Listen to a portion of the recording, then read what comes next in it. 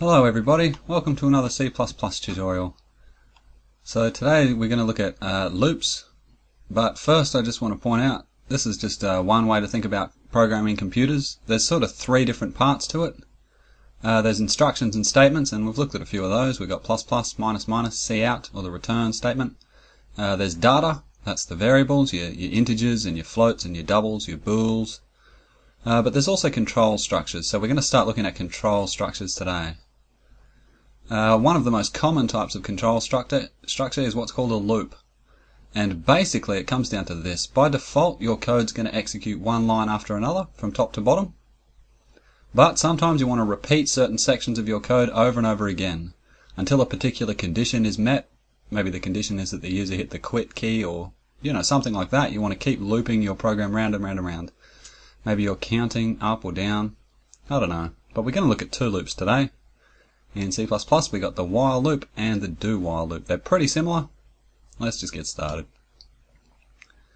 So the while loop is fairly basic. All you do is you say the while keyword, and Visual Studio is going to paint that blue for us. You follow that with brackets, and inside the brackets you put a boolean statement, a condition. So right here my condition is that the variable option double equals zero. Remember that it's double equals for a condition, not single equals. If we put single equals there, it's going to actually move the value zero into the variable option, and it's actually going to stop the loop straight away. Anyway, you put um, a code block after that. Straight after that, I've opened up a code block. You know, you can put this brace on the line down here. You can indent it or not indent it. Yeah, the style is completely up to you, but that's a while loop, the basic syntax to a while loop. And this is what happens, the actual order of steps. So the very first thing that happens is that the condition is checked. If the condition is true, uh, the code block will be executed. But if the condition is false, then we'll immediately jump out of the out of the while loop and we won't execute the code block at all. It'll come down here to line 5 or so. Okay, provided the condition was true and we just finished executing the code block, uh, we're going to come down here to step number 4, which says repeat from step 1. So we come back here, we check the condition. If it's true still, uh, we execute the code block again. And uh, otherwise, if it's false, we jump out. So what you might be able to see is that it's just going to keep going round and round and round in circles until the condition is false. But the other important thing to note is that it's only going to uh, stop going round and round in circles if the condition is false when it checks it. Uh, it doesn't check it in the middle of the code block. So if you temporarily change your condition to false in the middle of your code block, but you change it back to true again by the time the condition is checked, then uh, you know the while loop isn't going to know that it was temporarily changed to false. Yeah, it's not a big deal, but some people have expressed confusion over that in the past, so yeah, just be careful. The condition has to be uh, false by the time it checks the condition, otherwise it's going to keep going through the loop. Okay, the do while loop. Now this is really, really similar, but you might have noticed on the previous slide there that the very first thing that happens with a while loop is that the condition is checked. So if the condition is false, the do while loop, oh sorry, the while loop is never going to execute the code block. Uh, yeah, the do while loop on the other hand is guaranteed to execute the code block at least once. Uh, this is the syntax just here. We put the do keyword and then we open up a code block and after that, we put our condition with a while keyword. So here my condition is that option does not equal zero. So this do while loop is going to keep looping round and round and round uh, until somewhere in the body of the loop we set the variable option to zero. Then it's going to stop. It's going to break. That's what they say. I mean, it's not literally going to break, but it's going to stop stop the loop. Yeah, to jump out of a loop is called to break. Uh, Okay, so the exact order of steps for a do while, and we can see from this exactly why it's guaranteed to execute the code block at least once. Uh, the very first thing that it does is it executes the code block. The second thing it does is checks the condition, so it's sort of a backwards version of the while loop. The while loop began by checking the condition, and there's no guarantee that it's going to execute the code block at all. But with the do while loop, the first thing it does is executes the code block. Okay, so after it's checked the, checked the condition, it sort of behaves pretty much the same as a while loop. If the condition's true, then it repeats. If the condition's false, then it jumps out of the loop. So it'll be down here at line number 5.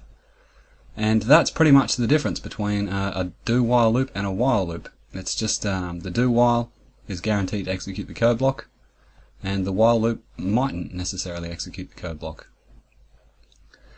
Okay, so I mentioned breaking in loops a minute ago. Uh, to break in a loop is to jump out of the loop without even checking the condition. So, yeah, here we've got a little example of exactly that. The break is a keyword. Visual Studio is going to paint it blue for you because it's a keyword. Anyway, int option equals negative 1. And then I've got a while loop. And my while loop says that while option does not equal 3, so uh, option initially is negative 1, that's certainly not 3, so the the condition option does not equal 3 is true if option is negative 1. Uh, then in the body of the loop we print out some little instructions for the user. Me in this case, I'll be the user. Uh, then we read a number from the user using cin, the extraction operator, and our variable option. And if the user types 0 right there, uh, if option double equals 0, then we break.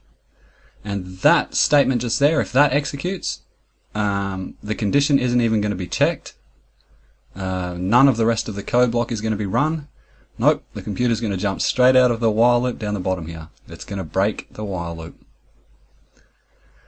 Uh, otherwise, uh, if we didn't type 0, say we typed something else, maybe we typed 4, um, if option double equals 0 is not going to run, because option's 4, uh, this one's going to run. Else cout you typed, and then it's going to say 4, and then the computer will come down here to the end of the body of our while loop and it's going to see that it's finished. So it's going to jump back to the top here and it's going to say um, does 4 not equal 3 well that's certainly true. 4 doesn't equal 3 so it's going to run the loop again. Uh, the other thing that we can do is uh, here for our option we could type in 3 and this is what's going to happen if we type in 3 it's going to go um, does option equal 0 it's going to go nah. Uh, it's 3 uh, so it's going to run this one once again, and it's going to cout you typed 3 to the screen. Then it's going to reach the end of the while loop, it's going to jump back up to the condition, and it's going to say, does 3 not equal 3? And it's a weird way to think about it, but, uh, you know, 3 does equal 3, so the statement, does 3 not equal 3, is false. Uh, yeah, so that statement's false, and it's not going to execute the body of the loop anymore. Nope, it's going to jump down here and keep executing from after the loop. Okay, so that's the break keyword, that's um, while loops and do while loops, but if we come over to C++, I've got some puzzles. Okay, three little questions here. Count from 100, or count to 100 using a while loop. Uh, count from 45 to 0 in fives using a do while loop. And count the first uh, six powers of 7, so from 7 to the power of 1 all the way to 7 to the power of 6. Uh, I'm going to do these in a second, but it's probably going to be pretty good. If you want to have a go yourself, just pause the video. Uh, okay, that's enough time. I hope you paused it and had a go, but it's up to you. Uh, this, this is just one way to do it. There's a billion ways to do any one of these things, but this is one way to do it.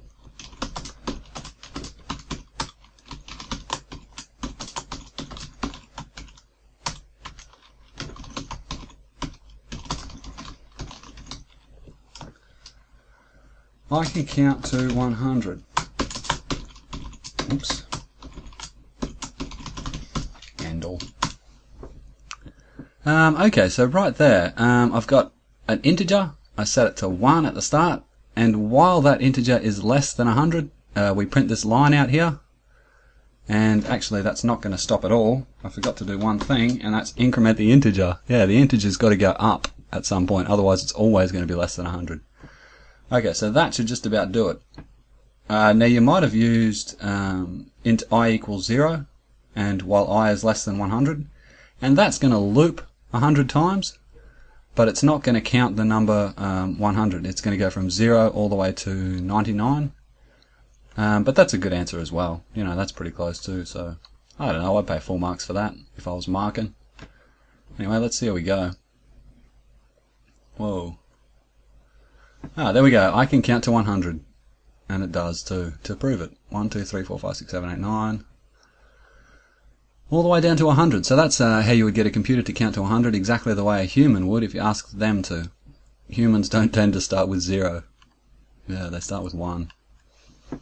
Anyway, so uh, count from 45 to 0 in 5s with a do while loop.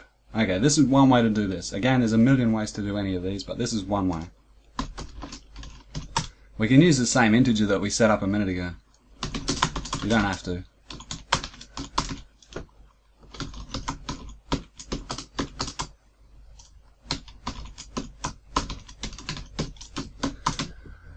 Okay, so for a start we want to print the numbers out. I mean, I didn't say that in the instructions, but I might as well. We want to print the numbers out. Uh, the other thing that we've got to do is each round we've got to subtract uh, 5 from the number because we want to count backwards in 5s. And the final thing that we want to do is stop our loop from repeating forever. Uh, yeah, if i has been subtracted to below 0, then we don't want to keep going through the loop. We want to stop. So that should just about do that. Let's have a look how we go. Aha! Here we go. So it's this one down here, just below the I can count to 100. And it's doing exactly like we hoped. Uh, 45, 40, 35, 30, 25, blah, blah, blah, blah, blah, all the way to 0, then it stops. Yeah, so that's one way to count backwards in 45s to 0. You know, you can change this to anything. You can have it count backwards in 7s if you like just by changing. We can change it to 75. Why not? You know, why not? Count backwards in whatever you want. Okay, the final one, uh, the powers of 7.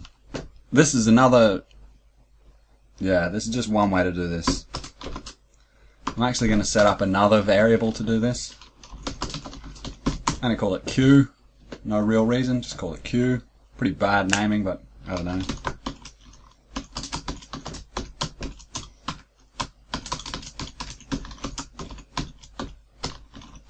Oh, 7 to the power of i oops, equals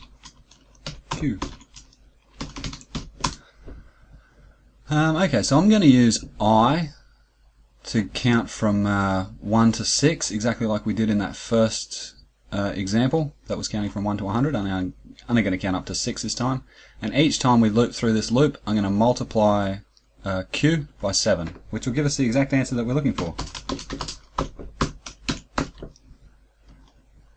Uh, the other thing that we've got to remember is that at the moment i isn't counting up, so got to, yeah, we better make sure that it increments. You could put this um, i over here as well. You could make that i if you like. Yeah, completely up to you. Let's have a look how we go.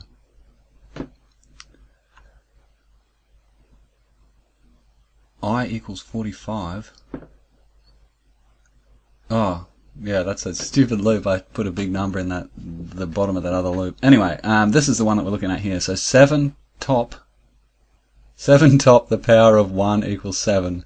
7 to the power of 2, or 7 squared is 49, 7 cubed is 343, 7 to the power of 4 is 2401, etc, etc. So that's the uh, 6 powers of 7 just there. And that's one way you could solve those little puzzles. And uh, that's about all I wanted to say on while loops and do while loops for the time being. So thank you for listening. See you later. Options.